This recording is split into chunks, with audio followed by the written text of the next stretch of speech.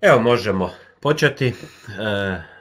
20 e, sati je 12.7. E, danas je četvrtak. Evo kao što vidite već drugi četvrtak u ovim ljetnim danima, iako još nije toliko došlo ono pravo ljeto, jutro se kod nas u Osijeku padala izrazito velika kiša, a e, pošto ne idemo toliko, ne putujemo u razne gradove, e, odlučili smo da dva puta tjedno držimo webinare, da budemo malo više u kontaktu, u toku i kao i svaki webinar snimimo pa će biti na YouTube za dan dva. Sutra sam u Zagrebu u 16 sati na Srebrnjaku ćemo isto održati jedan info sastanak. Ima jedna nova grupa, njih desetak, možda 15 novih ljudi, a pošto sam tamo, naravno svatko je dobro došao i jedino što smo stavili malo ranije, takav je bio dogovor, pa tko može neka slobodno dođe tamo i bit će jedan info sastanak. E, što je Skyway, kako on funkcionira, kakav je to projekt? Pa kad pogledamo ovu prekrasnu sliku, vidimo jednu futurističku sliku, e, tako reći sliku iz budućnosti koja postaje sadašnjost i ono što je interesantno je da ćemo se mi uskoro provozati u tim vozilima. Mi smo kao Skyway Capital, znamo da ima u našoj kompaniji, u Skywayu ima više, više firmi. Jedni se brinu za proizvodnju, jedni za gradnju ekotehno prezentacijskog parka, drugi je za razvoj, pa za reklamu, pa onda imamo tri kompanije koje prodaju osnivački kapital, e, znači e, za buduće dionice.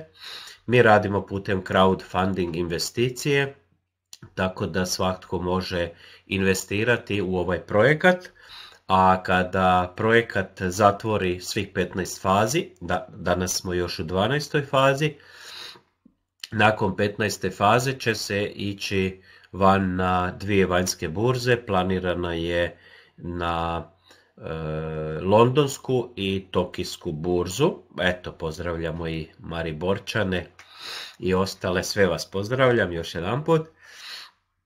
E, nakon toga će e, naše dionice vrijediti 1 dolar i moći ćemo ih i zadržati, a moći ćemo ih i prodati ukoliko to budemo željeli. I e, dakle mi smo dio, mi smo suvlasnici ovoga projekta, a e, tri kompanije koje se brinu za prodaju ove vrste investicije, to su RSV System, e, inače nam je to i službena stranica koja, gdje se preko tog back office isto može kupiti dionica.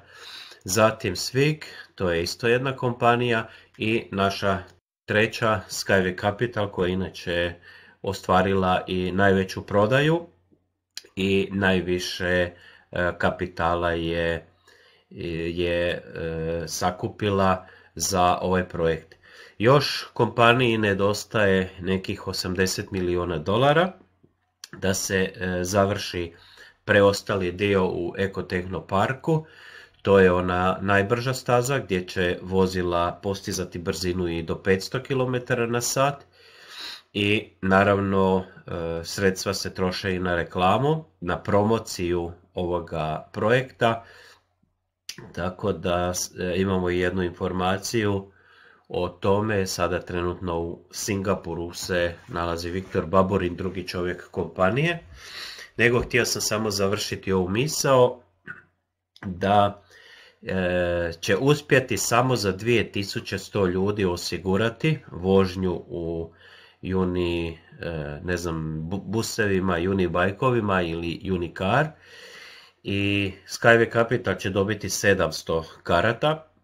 Mi nas ide 21 osoba trenutno, toliko ljudi je kupilo kartu i ulaznice za Ekotehno park i ja se nadam da ćemo osigurati svima da se mogu tamo provozati.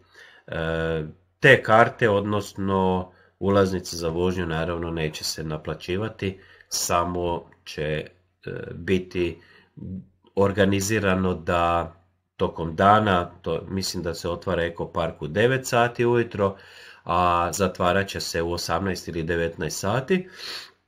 I u tom vremenu, dakle, oni će na tom malom dijelu moći provozati 2100 ljudi. E, sigurno da kapacitet je puno veći, nije to razlog, nego radi sigurnosnih mjera, pošto su e, specifične ove e, pruge tu u Ekotehnoparku, vjerojatno su tako odlučili.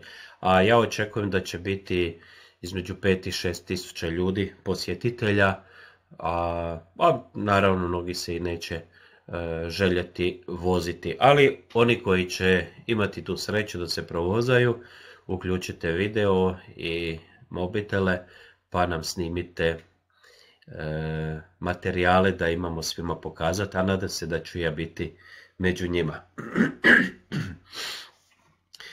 Kao i uvijek na samom početku volimo reći nove informacije.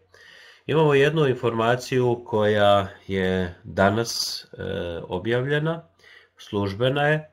E, prekinuta je suradnja sa kompanijom koja je radila do sada kriptovalutu Skyway token i Unicki imenovao dva stručnjaka iz holdinga koji će raditi na završetku tokena. E, službeno objašnjenje je zato što je nastao jedan veliki problem i to već izgleda prije nekoliko mjeseci. E, odavanje nekih e, informacije koja su najstrože, najstroža tajna u Skywayu.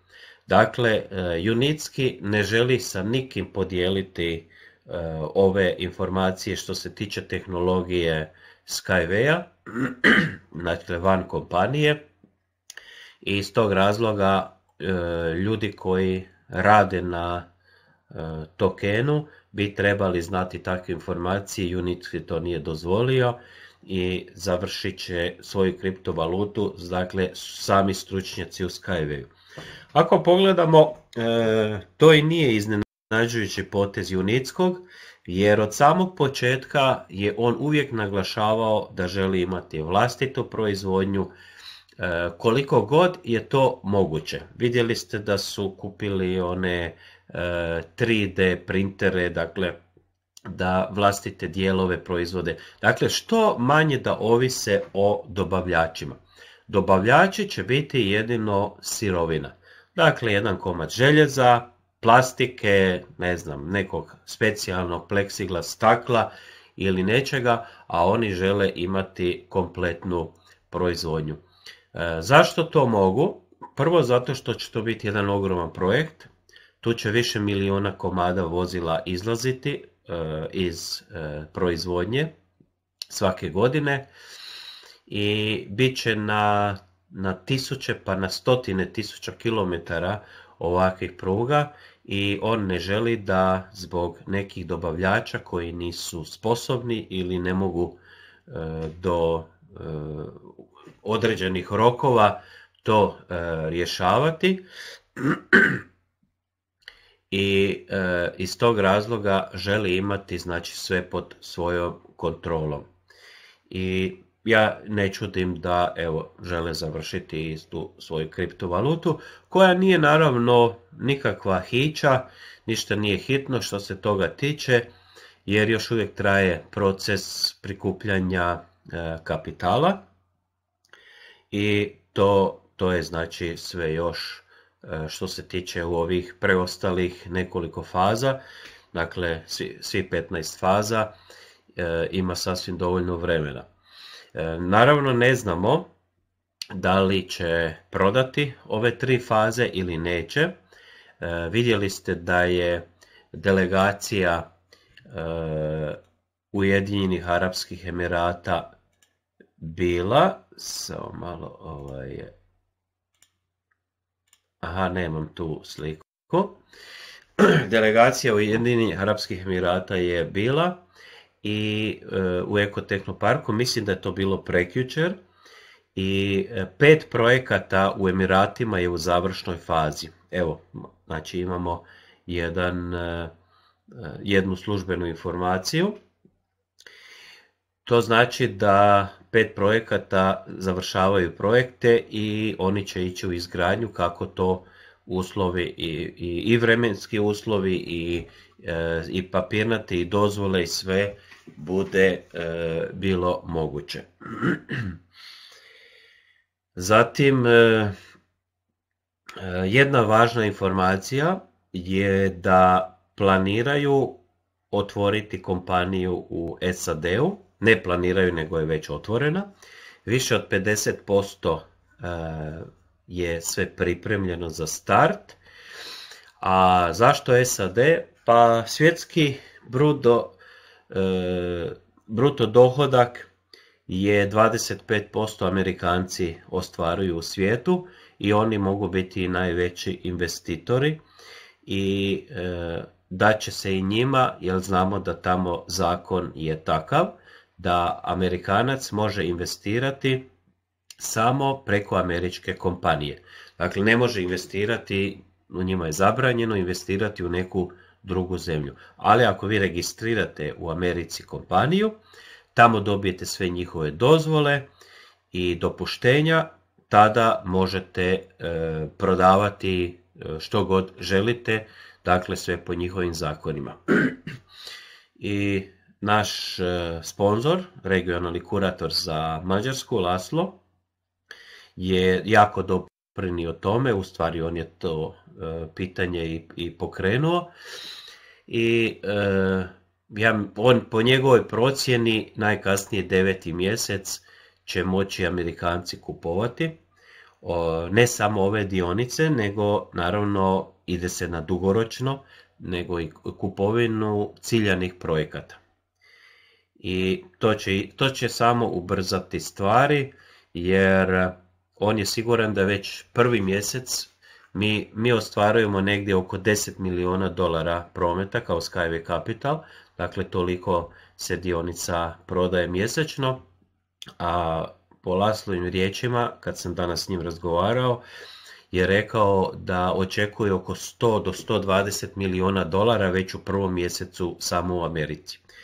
Evo, živi bili pa vidjeli ako to bude, a to će biti sve mali investitori, dakle ne oni investitori koji će ulagati milijune, nego ne znam 10, 20, 50, 100 tisuća dolara ili do 100 tisuća dolara Skyway smatra kao male investitore. E, ako to e, bude riješeno i sve, a po svemu sudeći čim je 50% ostvareno, to onda trebalo bi biti gotovo i to će samo ubrzati sve. Trenutno u Ekotehnoparku oni su spojeni na gradsku mrežu pa se napajaju putem gradske mreže u Ekoparku i na taj način ide pogon. Onda smo vidjeli jedne vijesti Jekaterinburg E, naslov je Metro nje budet, budet Skyway. To znači da oni žele umjesto metroa pokrenuti sa Skywayom. Inače, onaj koji nije još informiran, je Katerinburg jedan prekrasan grad, negdje e, u sredini u, e, Rusije, znači ako gledamo od Moskve kad idemo istočno, negdje tamo u sredini, nekih 3000 km. E, oni se e, natječu za svjetsku izložbu Expo 2025. A Baku i Osaka, to su još dva grada koji će se tamo natjecati i naravno mi navijamo da Jekaterinburg dobije. E, ispravno je reći i Ekaterinburg i Jekaterinburg. Dakle, jedno i drugo, ja sam gledao u Wikipediji, da e, jedno i drugo je isto. I oni žele te teške dionice da se uštedi na metro, ako bude trebalo gradit će i metro, ali na tim teškim dionicama gdje god se bude moglo stavit će Skyway, a ja sam siguran kad budu vidjeli da je Skyway pristupačan i puno bolja opcija nego i metro, da ne kažem jeftinija, povoljnija, onda će vidjeti da mogu pokriti čitav grad i sve ono što je potrebno. Grad ima, ja mislim, negdje oko skoro 2 milijuna stanovnika, milijun 500, 600, mislim, tako nešto. I e, to će biti jedan projekat od nekoliko milijardi dolara, možda dvije, možda tri milijarde dolara. Uglavnom, e, jako su zainteresirani. Sjećate se da su proljeće ove godine bili gosti, posjetili su Eko Park, pustio sam jedan video o tome i to će biti jedan, odnosno prvi najveći ruski projekt u 11. mjesecu ove godine, dakle za nekoliko mjeseci će se znati ako je Katerinburg dobije, a oni planiraju da će dobiti jer imaju najbolje uvjete i oni žele svoj grad pretvoriti u jedan pametni grad i ubaciti baš Skyway. Što se tiče Skywaya, Italija, odnosno San Marino, također ima jako velikih e, potreba i isto je vijest sada da San Marino isto, oni su bili dva put već, prvo su bili delegacija e, predstavnici grada, a nakon toga su poslali i stručnjake, najbolje projektante, jedan od najboljih projektanata je bio i naravno kada stručnjaci to vide kako funkcionira, malo se upoznaju sa tehnologijom, tada odlučuju da je za San Marino to možda i jedino rješenje jer do sada nisu mogli ostvariti. San Marino je grad nekih 35 tisuća stanovnika, ali vrlo gusto naseljen, dakle mali grad država jel, u Italiji i ovo će im biti jedna od jedna opcija koja je najbolja za to. Zatim spomenuo sam Singapur, Viktor Baburin u sredini koji je podigao ruku, drugi čovjek kompanije i glavni pregovarač za Skyway a pored njega onaj nasmješeni je ministar prometa Singapura. Ne moram, mislim, spominjati koliko je Singapur razvijen i modern grad. Jedna moja kolegica je bila tamo čak i živjela neko vrijeme, pa mi je puno pričalo o tome i to mi je jedan od ciljeva da posjetim Singapur. I oni su ozbiljno zainteresirani za ovaj projekt. A upravo ovih dana je izložba, mislim da je danas zadnji dan, tri dana traje i to je isto jedan e, od jedna promocija i reklama za Skyway. Zatim bio je tu Sevastopolj, isto grad. Evo ovo je taj Unicar e, koji je koje vozilo koje je sada postavljeno i vjerojatno ćemo se i s njim, s njim moći provozati. I sada tražim još jedan, samo da vidim gdje je. Vidim da ga nisam ovdje postavio, ovo je delegacija, Unicar, da. Tvornica. A evo ga, a nije. To je teretni. Imam puno materijala ovdje. Dobro, naći ću poslije. Da vidimo još. Uh, Singapur. Problem, kripto, ok. Evo. E, to bi to bi bilo ovo, e, informacija za danas. Za ponedjeljak će biti još isto nekih novih informacija i tako da predlažem da uvijek kad god možete poslušate sve, sve webinare jer uvijek se nešto novo događa. Samo da vidim ovdje da Kongres Singapur. Da, ok. Evo, to su te e, informacije. A ja bih, pošto imamo sada vremena, u sljedećih 20 i nešto minuta, da vam kratko objasnim e, što je e, Skyway i kakav je to projekt. Znam da ste me već više puta slušali i sve te informacije, pogotovo kada pričate, već i znate, ali evo ima i oni koji su novi, koji slušaju, pa da znaju kako je on nastao i zbog čega se nama pružila jedna takva prilika. E, najveći razlog gospodina Junicko, koga sam već spominjao, on je prvi čovjek kompanije,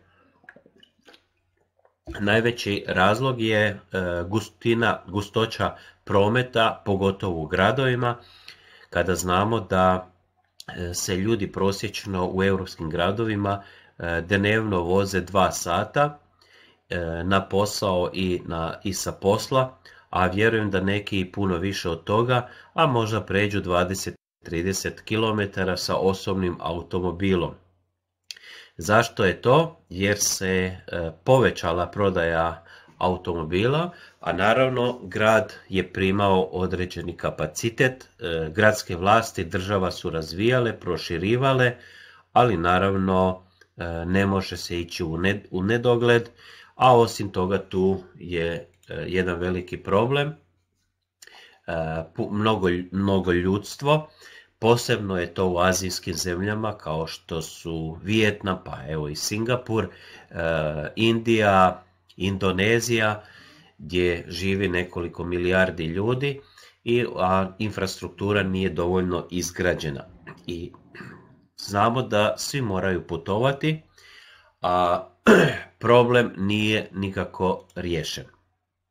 Na zapadu se pokušava na sve moguće načine, ali opet to još nije dovoljno i e, stvorio se problem koji nitko nije mogao riješiti i onda se radi o metro, podzemna željeznica koja je jedno od odličnih rješenja, ali je jedno od najskupljih rješenja.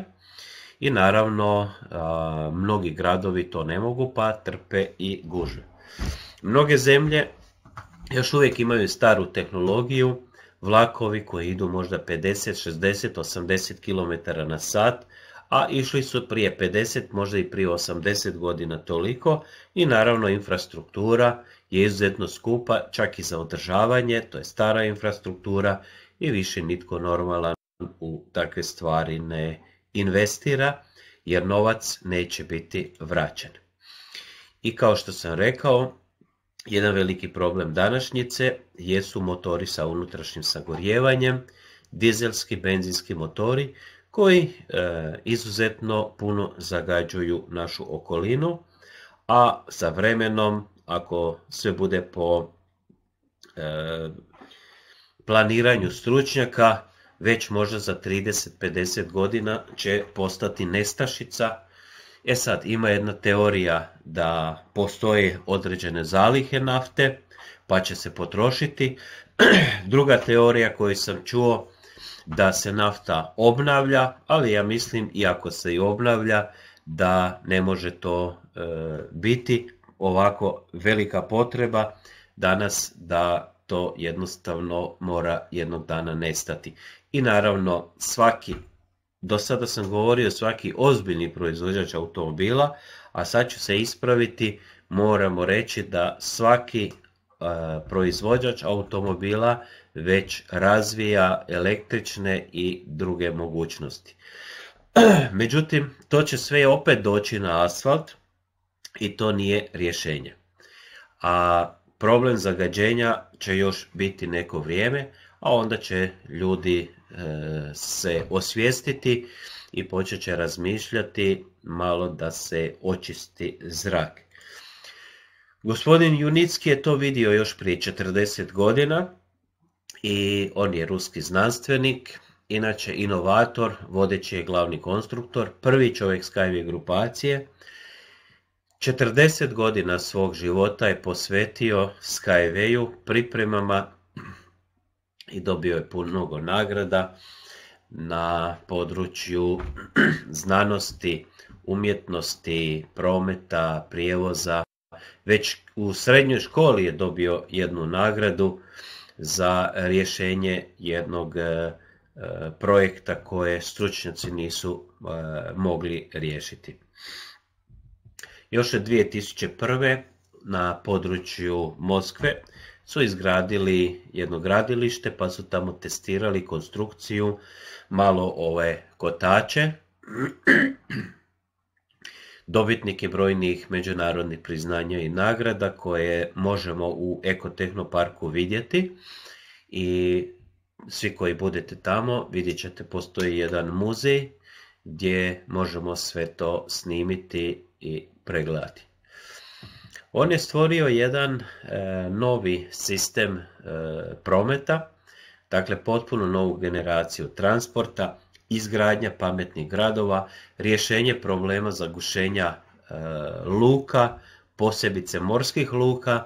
I sada najnovije što su već vidim počeli dosta reklamirati na internetu, ja sam malo manje govorio o tome, a to je problem i dostave tereta u svemir i povezivanje, dakle napraviti jednu veliku svemirsku postaju koja ide oko zemlje i ljudi će tamo istraživati svemir, e, živjeti, raditi, jer gospodin Junicki je radio u sovjetskom e, svemirskom programu i ima rješenja i za takve stvari. Kada pogledamo, e, to je jako široki opseg i puno toga, svaka naša investicija koju investiramo će vrijediti nešto na tržištu. Startat će se sa 1 dolar, a kako bude bilo izgrađeno sve više takvih prometnica, pa gradova, pa luka, pa možda dočekamo i taj svemirski program, dionice će naravno puno više vrijediti. 20% od neto dobiti kompanije to je sada već i službeno objavljeno, će se dijeliti dioničarima, a to su svaki vlasnik dionice. Znači, koliko dionica imate, bit će jedan postotak, dobivat ćete dividendu jedan put godišnje. Dividenda se isplaćuje negdje od trećeg pa negdje do šestog mjeseca svake godine i upravni odbor određuje koliko će to biti. I po mojoj procjeni, ako imate nekoliko stotina tisuća dionica, moćete imati jednu bezbrižnu budućnost samo sa dividendama. Ali vidit ćemo kako će to ići. Zašto je podignuo na višu razinu? Dakle, e, u zemlji obično ide do 9 metara dubine i ugrađuju se ti nosači, armirani beton, to je isto njegov izum. Podignuto gore, od 10 do 15 metara, van gradova čak i do 30-35 metara, ali prosječno van gradova će ići oko 15-20 metara. Prvo zato što da se rastereti e, taj promet što se odvija na zemlji, asfaltu, željeznici, dakle potpuno rasterećenje. Drugo, sigurnost. Ova vozila idu uvijek samo u jednom pravcu, dakle nema da se mimo ilaze i zato neće biti e, nesreća što se toga tiče. A treći razlog je spašavanje divljih i domaćih životinja, velika sigurnost, znači vozila neće udariti pješaka, niti bilo koje drugo vozilo u prometu i to je e, jedan od najvažnijih razloga, a jedan koji isto važan a to je e, e, ako je vozilo podignuto, dakle nije na tlu, aerodinamika je puno bolja i vozila troše manje energije. A samim time održavanje ovih vozila su e, povoljnija. Onda imamo kotače. kotači su ujedno i elektromotori. Takvu sličnu tehnologiju je su upotrebljavali na onim roverima koje su slali na mjesec i upotrebljava se na električnim biciklima, samo naravno ne te kvalitete, jer ove električne bicikle i motore koje kupujemo obično jednu ili dvije sezone izdrže i onda počnu ne skvarit se, nego jednostavno neisplativo je popraviti pa se bacaju. Sve koje znam, prijatelji koji su kupili tako nešto nisu dugo trajali. Ovi kotači su rađeni vrlo visokom e, preciznošću sa 2 nanometra tehnologije. E, laboratorijski e, strojevi se rade sa takvom preciznošću, znači za bolnice i određene ustanove i iz tog razloga Junicki tvrdi da će ova tehnologija biti najpreciznija trenutno u svijetu, najmodernija, zato su i kupili sve one strojeve, a već sljedeće godine se planira kapacitet od 10.000 vozila godišnje, a onda nakon toga će se štancati u milijone primjeraka, ali sve naravno sa takvom tehnologijom. Ekvivalent kada bi ova vozila trošila fosilna goriva, benzin ili dizel, pri brzini od 150 km na sat sa tri putnika, prevaljeni 100 km, potrošio bi 3,5 decilitara goriva. Zahvaljujući tim kotačima i aerodinamici, kada je vozilo e, podignuto sa tla, koeficijent otpora zraka može biti 0,00506, a na tlu trenutno najbolje vozilo ne može prijeći 0,2. Dakle, e, izuzetna velika razlika aerodinamike, a znamo, ja sam još u prometnoj školi učio, srednjoj, da kada vozilo pređe 100 km, onda počinje ta aerodinamika utjecati izuzetno na potrošnju goriva. Dakle, ako vozite automobil 100 km na sat, možda će vam trošiti 6 litara, ako vozite 150 pa potrošit će vjerojatno duplo više. Kategorija vozila su međugradski promet za najveće brzine, tu smo konkurencija maltene svim vrstama prijevoza, avioindustriji do 2000 km svakako, jer ne morate čekati na na aerodromu, čekirati se, ovdje se ulazi kao da uđete u tramvaj ili gradski autobus, znači čak nepuna minuta ulaz, izlaz putnika. Ta vozila su spremna potegnuti do 500 km na sat, prevesti do 500 putnika, iako Junicki sada radi na tome da ti putnici budu od 6 do 8 i onda se radi laka konstrukcija i to je najpovoljnija, ali do 500 putnika će biti moguće. Nema ograničenja, dakle na svim kontinentima povezivanje od Barcelone pa do Vladivostoka, to je ne znam možda 7-8 tisuća kilometara. Gradski, gradskih vozila imamo od 7 do 168 putnika, vidjeli smo Unibus sa 12, pa Unibus sa 48 i Unicar sa 18 mjesta. Oni su svi već smješteni, svi su u pogonu u Ekotehno parku. Unibike je vozilo koje isto juri 150 na sat, a prevozit će od 1 do 8 putnika.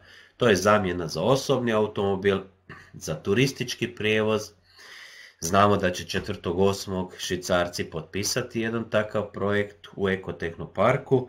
To će biti jedno svečano potpisivanje. I teretni program, to je slika koju sam htio pokazati pa nisam ovdje našao, je upravo, uh, ima 16 raznih izvedenica gdje mogu prevoziti od rasutog tereta mogu tekuće prevoziti, zatim razne razne kombinacije. Evo ga sad sam, e, sad ćemo napraviti upload. Unicont se zove, zato nisam ovdje ni našao jer ga nisam postavio. Unicont je e, jedno teretno vozilo koje, evo ga, koje prevozi e, kontejnere. Ovo je slikano prekjučer u Minsku u uredu, dakle vidi se baš da je slika. Dakle, onaj svjetski kontejner za e, što prevoze brodovi, znači dva takva vozila e, će biti spojena i prevozit će te, te kontejnere. Junicki kaže da e, on ne želi na velika vrata ulaziti, nego ponuditi postojećim e, problemima u prometu, u organizaciji luka, u gradovima, ponuditi najadekvatnije, najmodernije i najpovoljnije rješenje. I taj Unicon, znači prilagođen baš za ovu vrstu. E, svi projekti će moći biti opskrbljeni sa vjetro i solarnim elektranama. Mi u e, Ekotehnu parku imamo takvu solarnu i vjetroelektranu. Evo baš ću si dati truda pa malo izbliza to vidjeti, poslikati i raspitati se da li je on u funkciji ili je stavljeno onako samo za e, vidjeti nešto. Ali uglavnom jako mnogo energije će se moći proizvoditi i oko 70% će biti viška električne energije u tim projektima koje se kasnije mogu trošiti negdje dalje. Ne postoji prepreka da li je to uvala mora, kanjoni rijeka, e, neke manje planine, jer e, izgradnja se može tako reći svuda, pa čak i u močvarama, u indonezijskim močvarama gdje je najneprikladnije mjesto za izgradnju bilo čega, pa čak i Skyway-a je isto teško.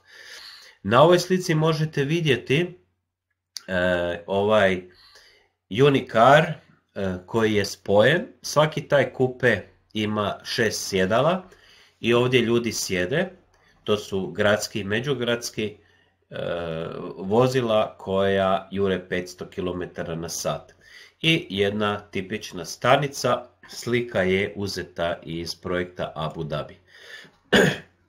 Jedna od izvedenica e, teretnog programa je upravo za standard euro palete i vidite kako Viljučkar stavi dvije euro palete, e, upiše se, konfigurira se odredište i ova vozila imaju vlastiti pogon, imaju baterije koje mogu još 20-30 minuta ići u slučaju nestanka struje, a u slučaju kvara može sljedeće vozilo e, ga pritisnuti i odvesti u, e, do kraja. Čak i dva nesposobna vozila, jedan koji od nazad gura, dakle može još dva takva vozila E, gurati ispred sebe. Ali e, koristit će se e, opcija pregleda i nalaženje kvarova, a dronovi će biti osposobljeni da dođu na mjesto kvara i da otklone neke kvarove ili ako treba znači i ljudstvo. Da nastavimo sa izgradnjom. E, projekti u Urugvaju gdje možete vidjeti u jednom kanjonu rijeke kako se izgradi jedan tako fantastičan projekat, a znamo da ceste tamo Kolumbija, Urugvaj, Ekvator i tako neke te južnoameričke i srednjeameričke zemlje imaju veliki problema, imaju mnogo džungli, pa i sam Brazil, a jednostavno infrastrukturu niti imaju novaca da se to izgradi, niti im se to isplati, a Skyway nudi puno, puno jeftinije rješenje. Jer neki vijadukti, tuneli, znamo koliko to košta i znamo koliko vremena je potrebno za to. Evo tu su vozila, Unilet, to je taj kao mali mini Unibus, pa zatim veliki Unibus, pa Unibike, to su sve žive prave slike. Ovo nije prava slika, ovo je samo jedna vizualizacija vozila koje juri 500 na sat, ne zagađuje ništa, ne udara u životinje, dakle i ostavlja prirodu onako kakva je. Primjer za luke, tu možemo spomenuti da je dovoljno nekih 17 sati za istovar, a vidjeli smo onu sliku kontejnera, ima i video snimka na koji način se to radi, tako da brodovi u tim velikim lukama ne moraju čekati 20-30 dana na utovar i istovar, jer se to može obaviti tako reći u dva dana.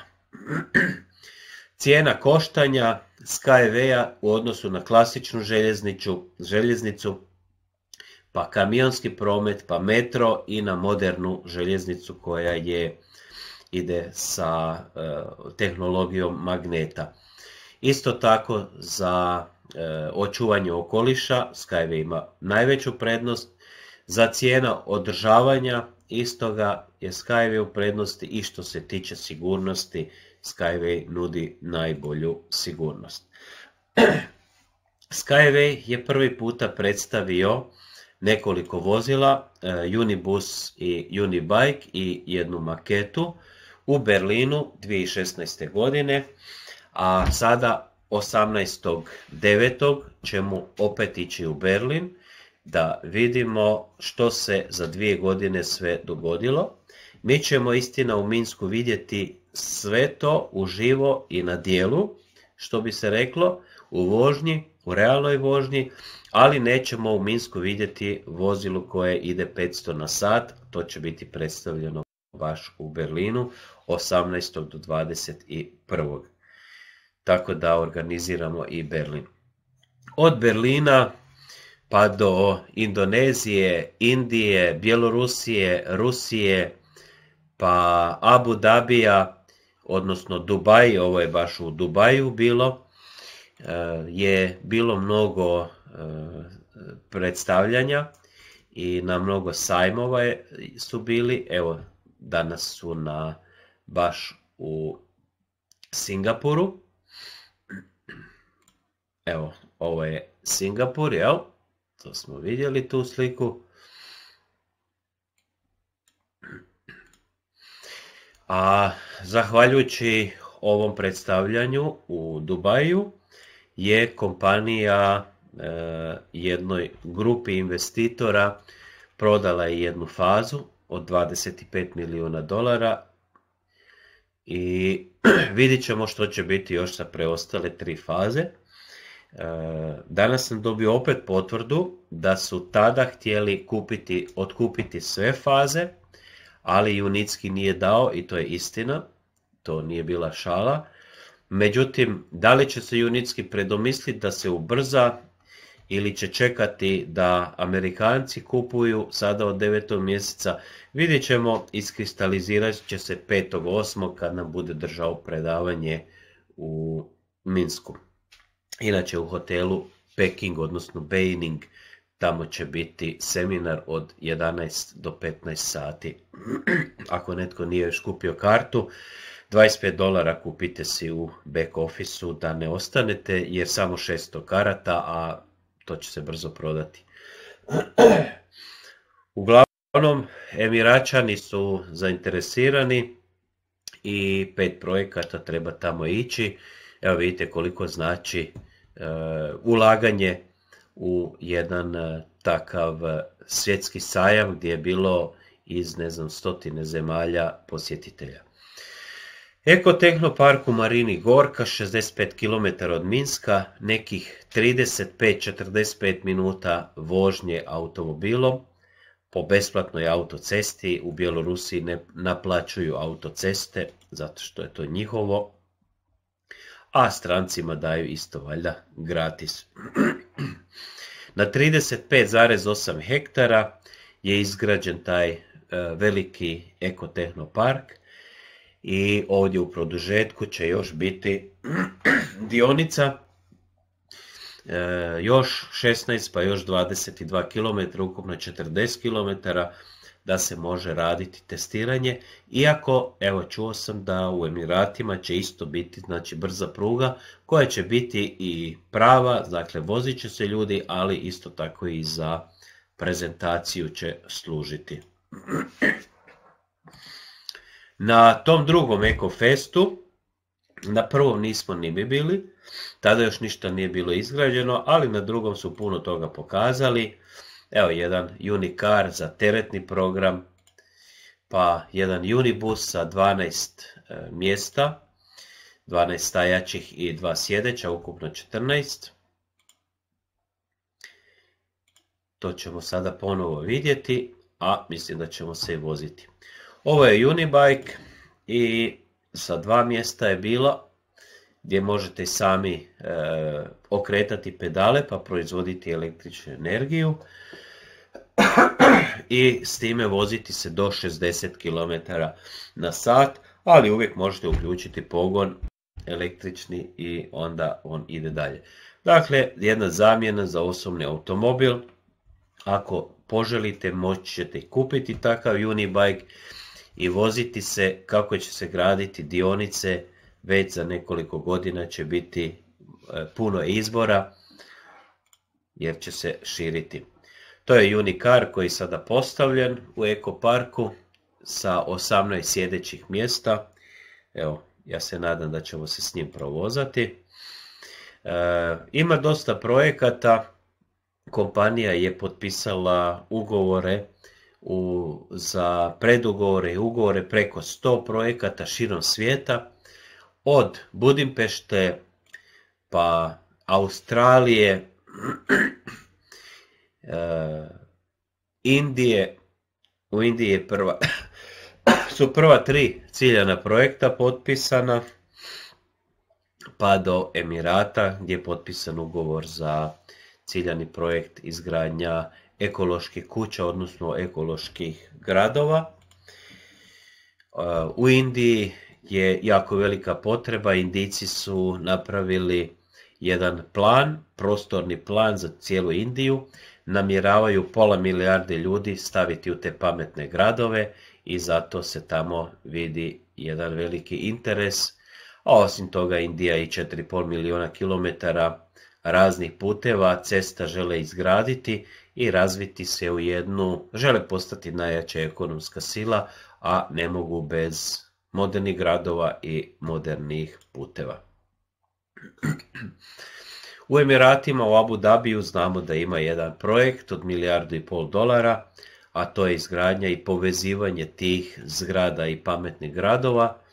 Po projektima oni mogu biti udaljeni jedan od drugoga do 2000 metara. A jedina kompanija na svijetu koja može tako nešto ponuditi je trenutno Skyway.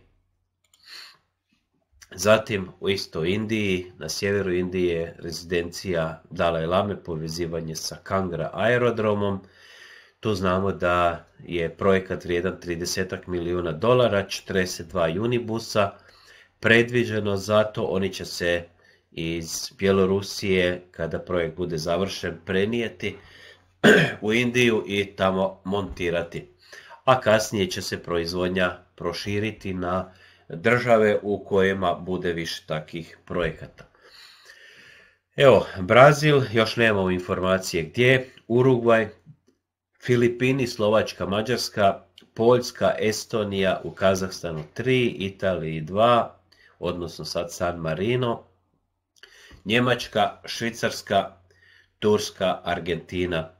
Evo, San, odnosno Švicarska i Argentina trebaju potpisati sada 4.8. Argentina taj teretni program, a Švicarska turistički program. Navodno Švicarci odmah će isfinancirati sve da se ubrza i projekt i proizvodnja i naravno onda ide montaža.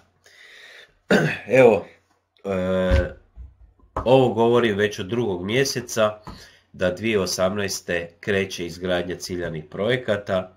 Ja se nadam da ćemo imati neke podrobnije informacije sada 4. i 5. 8. u Minsku i u Marini Gorka, pa ćemo onda promijeniti tu sliku i stavit ćemo gdje se gradi i gdje će se graditi. Znam da je Australija skroz gotova i Emirati, i Indija, Indonezija, sve isfinancirano. Evo, čekamo službenu informaciju. Neslužbenih ima mnogo, ali znate da volimo službene informacije, jer one su službene, a neslužbene mogu sadržavati puno toga što nije službeno. E, imamo i pakete, pa ću kratko i predstaviti. Svako ko se registrira u Skyway Capital, besplatna registracija, moj prijedlog je da se odmah postave osobni dokumenti. Oni koji su u uniji postave osobnu iskaznicu, prednju i zadnju stranu, a oni koji nisu, oni trebaju i jedan dokaz o adresi prebivališta, dakle neki račun od režija, od telefona, struje, osiguranja ili nešto slično. Inotrans paket, 1000 dolara košta 45.000 dionica ćete imati. Ako ga drugi put kupite, dobit ćete 55.000, a treći ili više puta u ovoj 12. fazi donosi vam svaki put 65.000 dionica. Postoji jedna akcija za nove investitore, svaki onaj koji se registrira i kupi paket u roku od 7 dana dobit će još 5, pardon, 10% e, dodatnog e, bonus dionica. Dakle, još 4,5 tisuće dionica. Brzi start paket ide na dva mjeseca po 300 dolara, 21 tisuću dionica. Ako oba dvije rate platite u istom danu, da ne prođe 24 sata, dobit ćete još 6 tisuća, imat ćete 27 tisuća dionica. Ako imate malu djecu koja nisu punoljetna, bez obzira da li godinu ili 17, možete kupiti jedan od ova dva ili oba dva paketa na njih. Prvo ih trebate upisati kod sebe, u vašem back office napraviti verifikaciju i nakon toga imate paket od 65 dolara mjesečno na 9 mjeseci i dobijate 26.325 dionica. Ako kupite paket od 150 dolara mjesečno na 9 mjeseci 67.500 dionica. Uvjete toga imate sve i na našem jeziku. Web ured ili back office ili nalog neko me je pitao, nije znao šta je back office, nije znao šta je web ured, pa sam morao na neki način objasniti što je to.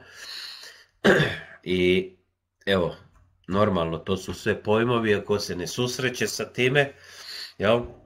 back office, to je e, naša e, web e, stranica naš ured, naša kancelarija gdje možemo kupiti pakete, pratiti koliko imamo dionica, pratiti našu grupu, gledati naš bonus, sve informacije i sada dostupne na hrvatskom jeziku.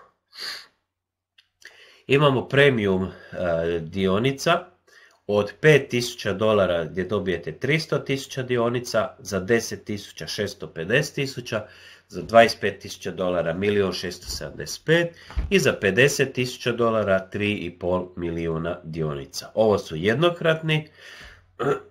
Ako želite na rate, za 5.000 dobijate 3.250 i to ide na 10 rata po 5.000.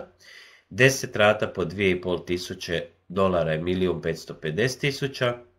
10 rata po 1000 dolara 600.000 dionica 10 rata po 500 dolara 275 tisuća i 10 rata po 200 dolara dobije se 86 tisuća dionica, ako se odlučite prve dvije rate platiti odjednom, dobit ćete dodatnih 10 tisuća. Za 10 e, rata po 100 dolara dobijate 40 tisuća, za dvostruku prvu dodatnih 5 tisuća dionica, senior paket 10 rata po 50 dolara, 17.500 i 2.500 za dvostruku ratu i 10 puta po 25 dolara, to je najmanji paket na rate, dobijate 7750 plus 750 ako ste prve dvije rate uplatili odjednom. Za one koje e, članove koji su ostvarili bonus, širenjem, e, reklamom e, drugim investitorima mogu dobiti specijalne četiri paketa od 1800 dolara, 1400 i 250. Postoji jedna mala tablica, u tablici možemo izabrati pakete jednokratne, ovo nije na rate, već od 15 dolara, 30, 50, 130 i tako do 150 tisuća dolara, a ovdje se mogu vidjeti koliki je to broj dionica. Rekao sam, kompanija planira izaći na dvije svjetske burze, a to je Tokio. Inače, kompanija je 2014. godine osnovala dva holdinga, izdali su 400 milijardi dionica, od toga 133 milijarde idu na, ova, e, na ove dvije burze, a 49% je prodano malim investitorima. Koliko će se trgovati, koliko će se prodati, koliko će kompanija, koliko mi, to je jedan veliki upitnik. Vidjet ćemo, ali moj prijedlog je nemojte prvim danima prodati za 1 dolar, jer može se za 7 dana okrenuti i biti svašta. Naravno, rizik svako snosi sam, ako padne ispod dolara ili ako dođe na 5 dolara za 7 dana, na to nitko ne može utjecati, svako odlučuje da li će prodati kada ili ćete ih zadržati u sljedećih 20, 30, 50 godina, ostaviti u nasljedstvo vašoj djeci, unucima, pa će i oni imati dakle dionice. Evo, u 2018. godini možda ćemo samo još nekoliko mjeseci imati ove dionice za kupovinu, jedna šansa, ali za 1 dolar će uvijek biti na svjetskim burzama, tako da nitko neće zakasniti. Pitanje je samo kada i u koje, po kojoj cijeni ih možemo kupiti. 20 sati i 59 minuta. Ja vam se zahvaljujem na vašoj pažnji, na vašem strpljenju. Bilo mi je lijepo sa vama, nadam se da sam vam pomogao u vašem radu. Želim vam puno uspjeha i e, želim vam još mnogo dionica da ih imate i da ih zadržite dugoročno, a da vadite samo za sebe dividendu. Evo, sve najbolje, ugodnu večer i čujemo se jednom drugom prilikom. Laku noć.